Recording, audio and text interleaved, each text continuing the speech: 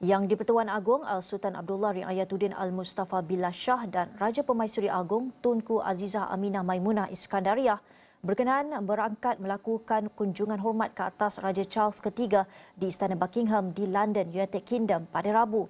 Istana Negara dalam satu kenyataan hari ini berkata kunjungan hormat itu bersempena lawatan khas Seri Paduka Baginda berdua ke London dari 10 Oktober hingga 16 Oktober 2022. Menurut Datuk Pengelola Bijaya Diraja Istana Negara, Datuk Seri Ahmad Fadil Samsudin, kunjungan hormat yang berlangsung selama 40 minit itu bermula pada jam 3 petang waktu tempatan dengan Baginda Raja Charles III berkenan menyantuni dan beramah mesra dengan Seri Paduka Baginda berdua.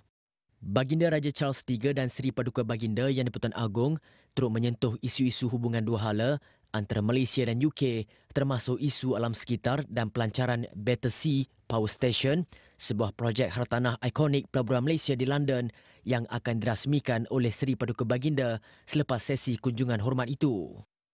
Keberangkatan Seri Paduka Baginda berdua melakukan kunjungan hormat itu mencerminkan keakraban Seri Paduka Baginda yang di Agong dengan Baginda Raja Charles III. Kedua-dua pemimpin telah menjalinkan persahabatan sejak lebih empat dekad bermula dengan bersukan polo bersama-sama ketika remaja di pelbagai peringkat kejohanan antarabangsa.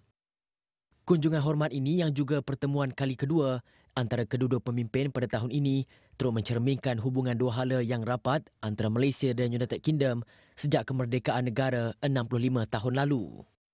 Pada 18 September 2022 lalu, Seri Paduka Baginda berdua berkenan berangkat menghadiri majlis resepsi bersama Baginda Raja Charles III yang telah dihoskan oleh Baginda di Istana Buckingham. Seri Paduka Baginda berdua turut berkenan berangkat menghadiri istiadat pemakaman negara Baginda Ratu Elizabeth II di Westminster Abbey pada 19 September 2022 lalu.